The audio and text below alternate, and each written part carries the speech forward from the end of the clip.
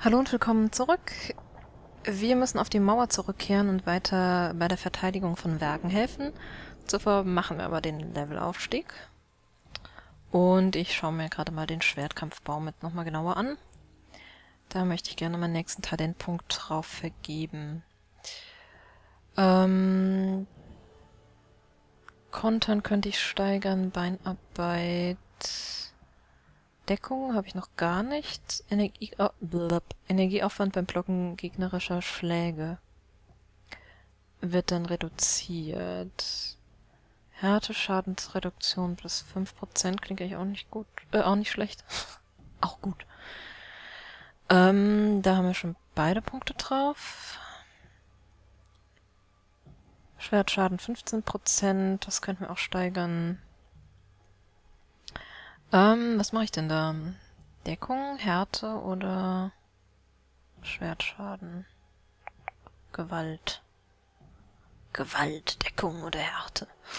Ähm.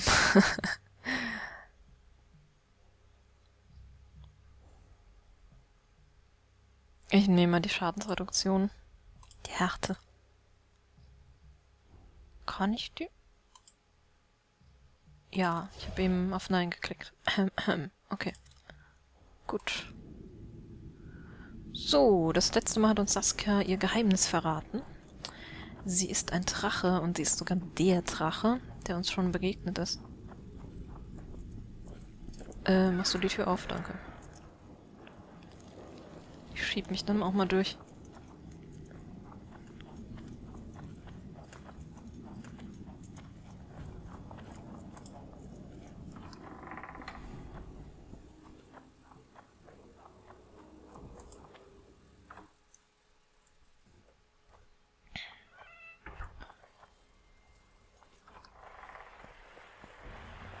Oh. Waren wir hier das letzte Mal auch? Ja, das ist der Rückweg.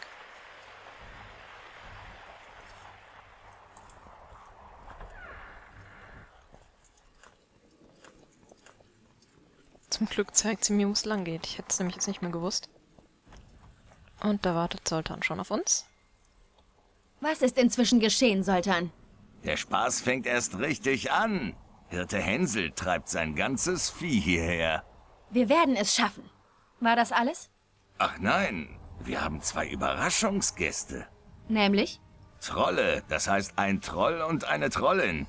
Hässlich wie Scheiße nach dem Winter, aber Möpse hat sie. Du hättest sehen sollen, wie unsere Leute geglotzt haben, als diese beiden Ungetüme in den Hof kamen. Warum wollen Sie uns helfen? Haben Sie das gesagt? Hexermensch gut. Feind von Hexermensch, Feind von Troll. Ich kenne die beiden. Sie könnten sehr nützlich sein. Gut. Außerdem wollen wir ein Land ohne Vorurteile schaffen. Als wir erfuhren, dass Hänselt selbst den Angriff führt, rutschte uns die Moral in den Keller. Sultan, sag ihnen, wenn sie aufhören, an den Sieg zu glauben, können sie auch gleich mit weißen Fahnen wedeln.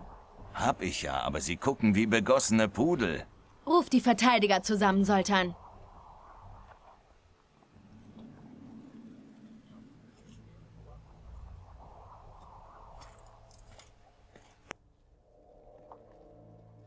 Warum schweigt ihr? Ihr solltet euch freuen. König Henselt persönlich will uns beehren. Wir werden alle sterben. Wir können sie nicht abwehren. Henselt ist unbesiegbar. Wir werden nicht gegen Knechte, sondern gegen den König kämpfen. Und er wird unseren Sieg anerkennen müssen. Wovon träumt man als Soldat, wenn nicht davon? Oder habt ihr etwa Angst zu kämpfen? Wollt ihr die weiße Fahne hissen? Das ist ganz einfach. Und Henselt wird schnell eine neue Ordnung einführen. Die Schenken sind nur für die Menschen. Die Zwerge ersticken im Bergwerk. Die Elfen verschwinden, sie werden im Wald gejagt. Die Herren erschlagen die Bauern, die sich nicht tief genug verneigen. Ist das das Land, das ihr euren Kindern hinterlassen wollt? Nein! Niemals! Ihr zittert vor Angst, nur weil Henselt kommt? Wer ist er denn? Ein Gott? Nein. Er hat Arme, Beine und Blut, genauso rot wie unseres. Und wenn er sich tatsächlich herwagt, werden wir gerne etwas von seinem Blut vergießen. Ja! Erledigt Hänsel! Lang lebe Saskia! Viele von uns werden kein Morgenrot mehr sehen. Frauen werden vergebens warten, Freunde ohne uns zechen. Aber wir werden sie in Ehren halten und uns um ihre Gräber kümmern. In Edirns Erde.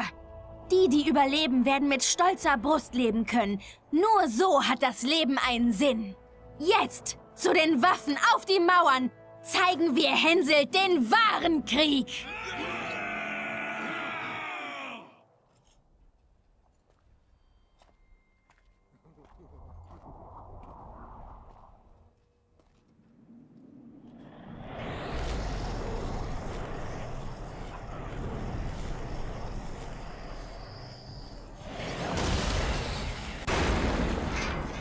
Sie kommen! Treten Wir wir noch ein paar Mal. Ärsche!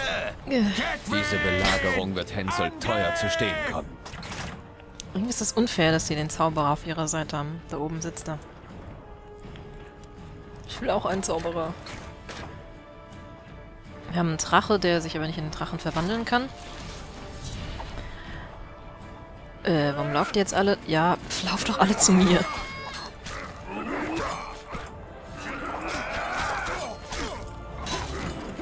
Ja, im Prinzip dasselbe Spiel wie beim letzten Mal. Nur jetzt bei besserem Wetter. Oh, da unten sehen wir die Trolle. Unsere zwei Freunde. Die langen auch ordentlich zu.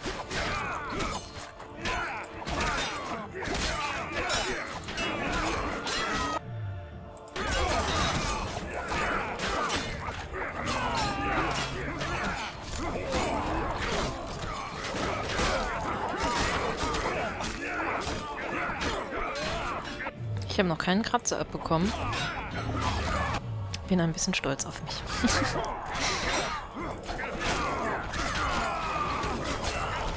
Schnell mal Saskia verteidigen. Und dem Japen ein bisschen unter die Arme greifen.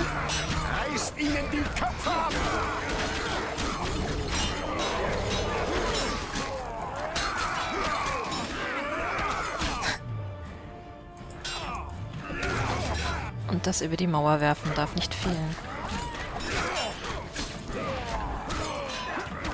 Ah, apropos. Wir haben ja eine Zauberin. Hey, hallo. Schön, dass du dich einmischst hier. Die Philippa hilft mit. Die duelliert sich mit dem... Äh, ich habe dessen Namen vergessen.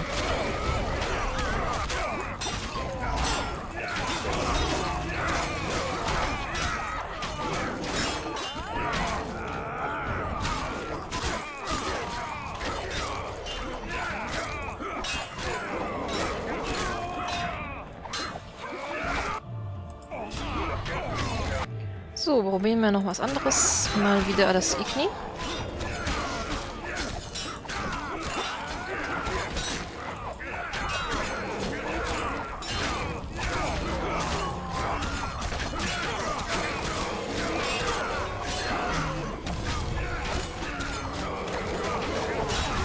Oh, die armen Trolle da unten. Denen kann ich leider nicht helfen, oder?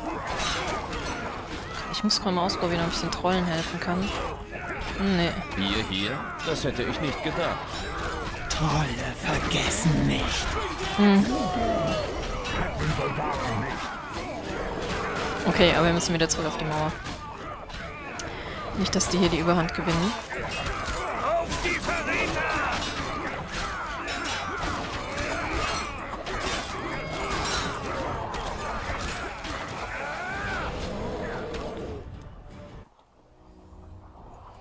Gut.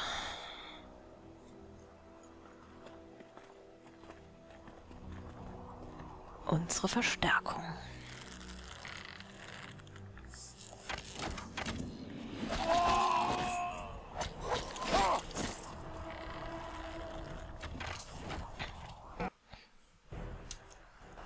Terroristen, Mörder, Räuber oder aber edle Krieger, die um ihre Freiheit kämpfen gegen einen übermächtigen Feind. Kommt auf den Standpunkt an. Ich habe Jorbit vertraut und ihm geholfen. Ich schloss mich Saskia an und damit der Rebellion neuer Werte und Ideale. Man wird sehen, ob es richtig war.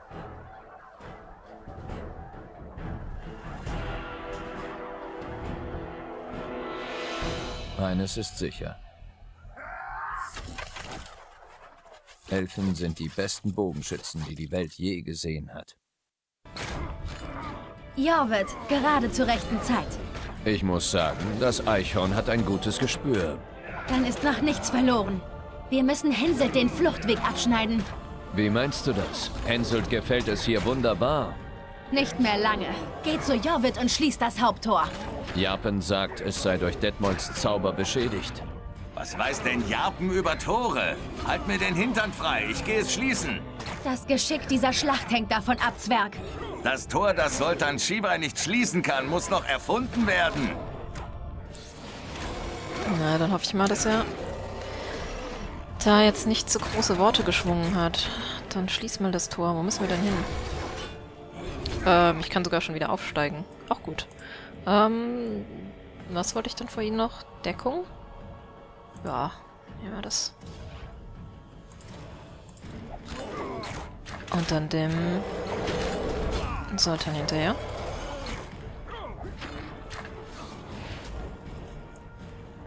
Ach, die Leiter darunter. Gut, gut. Hab ich nicht gesehen. Verschwinde.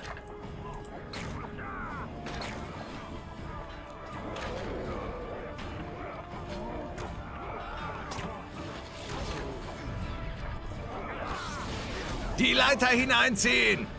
Jawohl! Ich würde sehen, dass sie dafür so eine kleine Cutscene gemacht haben. Weiter geht's zu Jorvit. Jorvet, wir müssen zum Haupttor, sofort. Gib's zu, du hast gedacht, ich käme nicht zurück, Windblade. Du bist verteufelt gut. Wir müssen verhindern, dass Henselt fliehen kann. Und ihn anschließend zwingen, es zu versuchen. Dann nicht gezaudert. Zum Tor!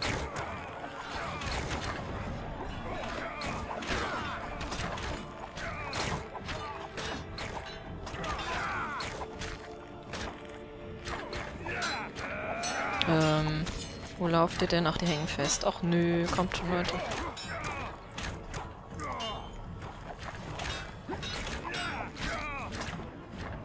Ist doch dann voll unepisch, wenn die da rumhängen. Schließ das Tor! Einmal mit der Axt drauf, oder was? Ja, super. Das ist eine gute Idee.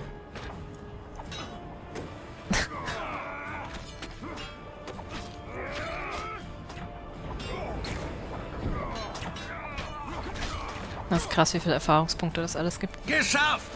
Sie sind abgeschnitten und angreifbar wie Enten. Vielleicht ergeben sie sich.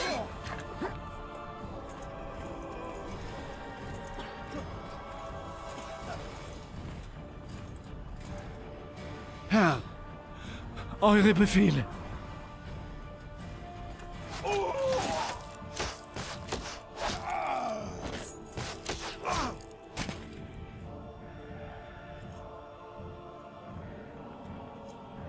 Wir ergeben uns.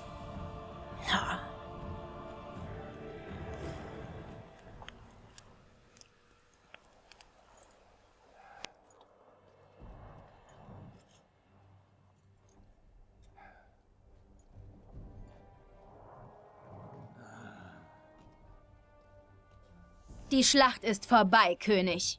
Du hast gesiegt. Du diktierst die Bedingungen. Du kennst meine Forderungen. Du verzichtest auf Eddon und unterzeichnest eine bedingungslose Kapitulation. Du verpflichtest dich, deine Armee niemals mehr den Ponta überschreiten zu lassen. Ist das alles? Du zahlst Reparation und erkennst Obereddon als souveränen Staat mit Saskia von Wergen an der Spitze an. Was erwartet mich und meine Leute? Die Freiheit. Das ist nicht wenig. Sieh nur, wie viele meiner Leute bei ihrer Verteidigung gefallen sind. Wie viel willst du? Wir setzen uns in Lokmuin zusammen, um die Höhe der Reparationen festzusetzen. Mit achtbaren Zeugen. Da ist noch etwas. Saskia hat es noch nicht erwähnt. Ich höre? Seit die Welt besteht, gab es Kriege. Und es wird sie immer geben. Die einen siegen, die anderen verlieren. Doch sie müssen im Geiste ritterlicher Prinzipien und Gesetze geführt werden. Worauf willst du hinaus, Zauberin? Kriegsverbrecher müssen bestraft werden. Detmold zum Beispiel. Ich brauche aber einen Berater. Kriegsverbrecher werden bestraft. Du bekommst einen neuen Berater. Und zwar Sheila de Tankerville. Diese Hexe spinnt wohl. Das ist eine unverhandelbare Bedingung. Detmold wird für seine Verbrechen zur Verantwortung gezogen. Sei es drum. Exekutiert ihn. Lasst sie mich nicht zerren wie einen Hund.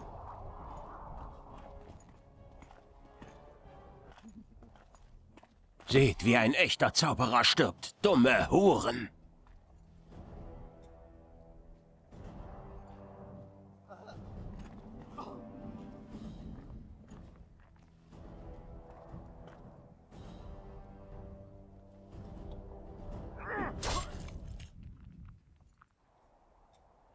Leiste den Eid und du hast freien Abzug.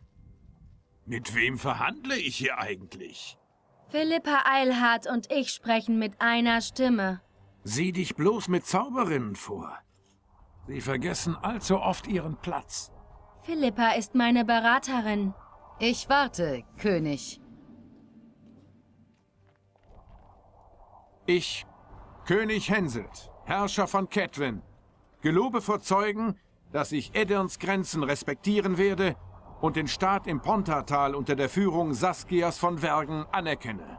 Ich gelobe, die Reparationen zu entrichten, deren Höhe in Lok Muin festgelegt wird. Du bist frei. Zeigt dem König den Weg.